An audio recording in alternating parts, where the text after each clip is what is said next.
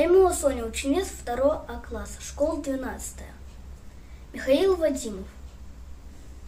Поздравление дедушке к 9 мая. Поздравляю дедушку с праздником Победы.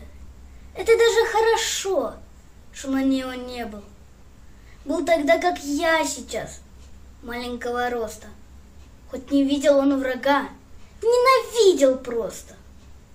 Он работал, как большой, за горбушку хлеба. Приближал победы день, хоть бойцом и не был. Стойко все лишения снес, расплатившись детством. Чтобы в мире жил и рос внук его чудесно, Чтоб в достатке и любви наслаждался жизнью, Чтоб не видел я войны, дед мой спас отчизну.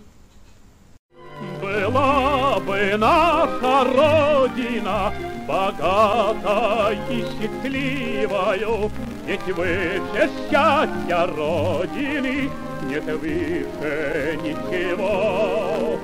Была бы наша Родина богатой и счастливою, Ведь выше счастья Родины нет в мире ничего.